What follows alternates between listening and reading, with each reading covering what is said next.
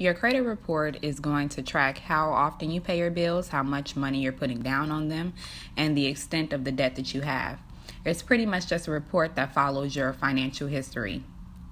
Now, different companies, different creditors, different lending agencies, different credit card holders, before they give you a line of credit or before they offer you money to spend, they're going to look at your credit score.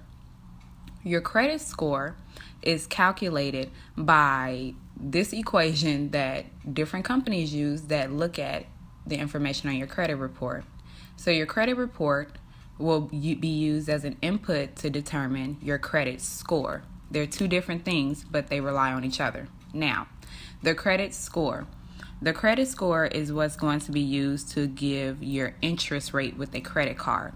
Depending on how high your score is, is going to determine if you're worthy of making your payments on time, if you're reliable, if you're going to pay the bill off, and what interest rate they're going to charge you. Naturally, the higher your credit score, you're going to get a better interest rate or a lower interest rate. Lower interest rates are good because that's less of a penalty that you'll have to pay.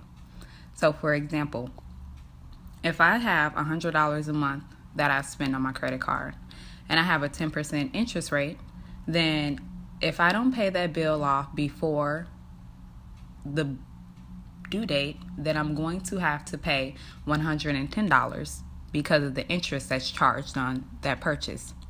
Now, if my interest rate was 20%, I'd have to pay $120 when I didn't pay my bill before the due date.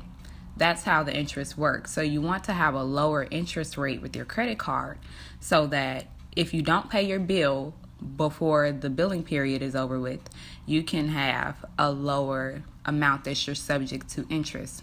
All right.